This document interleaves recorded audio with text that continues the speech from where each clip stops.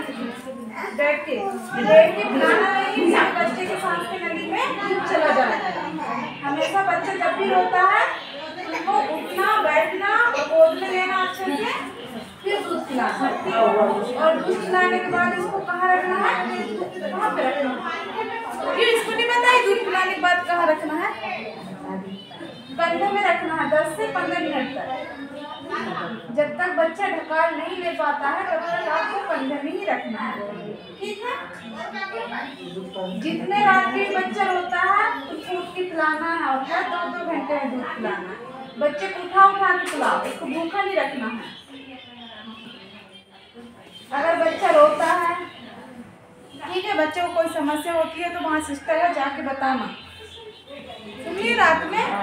अब तुमको भी कोई दिक्कत होता है? पेट दर्द घबराहट, चक्कर, सिर दर्द?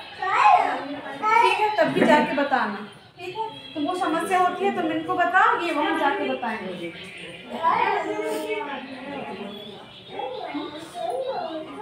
क्या हुआ?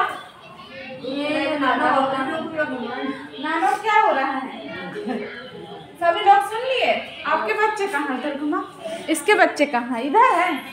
दूध पिलाई पी लिया सो गया अब है ना कब हुआ है अभी तुमको कोई दिक्कत तो नहीं हो रहा है ये तो रो रहा है यार इसको भी टीका लगा है हाँ तुम भी सुन ली ना तुमको इतने सारी समस्या होती है तो वहाँ सिस्टर है जाके बताना और बच्चे अगर रोता है बच्चों को ज़्यादा बुखार आता है तब भी आपको जाके बताना है।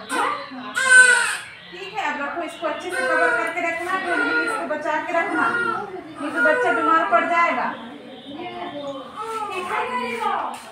इसको क्या हो रहा है? काय दिया देखो।